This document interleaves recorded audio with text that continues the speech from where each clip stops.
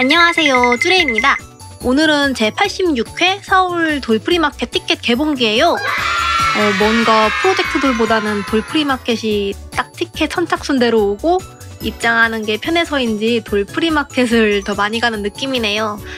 음, 이번 행사는 역시나 지인이신 오팅님께서 인형 행사에 한 번도 가본 적이 없다고 해서 꼬셔서 같이 가기로 했답니다.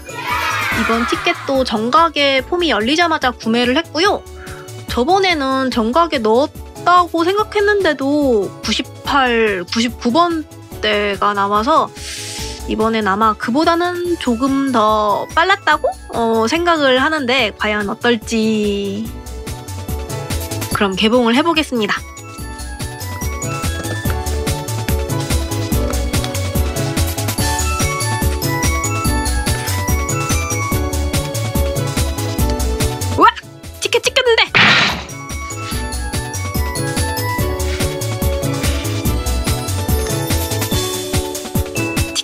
찍혔는데 이래도 돼?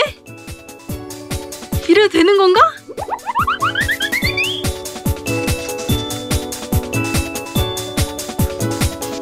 붙여야 되나? 어 아무튼 어 황당해서 말이 안 나와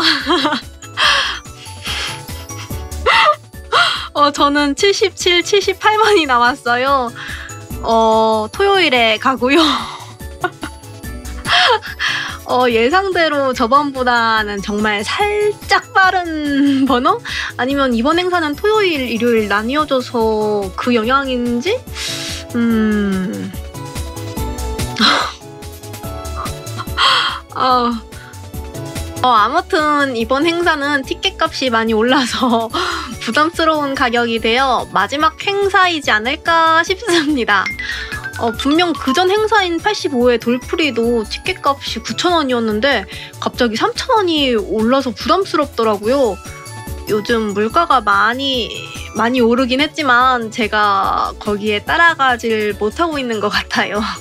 어, 그리고 잠깐 잡담을 하자면은 요즘 영상이 뜸했었는데 제가 인형계에 입덕하고 수많은 중고 거래를 해봤지만 이번에 처음으로 경찰서에 갈 일이 생겼어요. 다들 사기 조심하시고 사기가 아니더라도 연락이 안 된다거나 약속을 이행하지 않는 판매자도 좀 미심쩍다 싶으면 천년의 위시여도 사지 않기를 바랍니다. 암튼 그래서 마음고생을 했더니 지쳐서 휴덕, 휴덕이랄지? 인형에 대한 욕구가 똑 떨어지더라고요. 그래도 샵에서 신작들이 나오면 계속 구매는 하고 있어서 다시 덕심을 불살라 볼게요. 이번 돌풀이에서도 꺼진 덕심이 어, 좀 살아나길 바라면서 그럼 행사 가시는 분들이 계신다면 조심히 다녀오시고 음, 거기서 뵐 수 있는 분들은 뵙길 바래요. 안녕. 저는 이걸 붙이러 가보겠습니다. 안녕.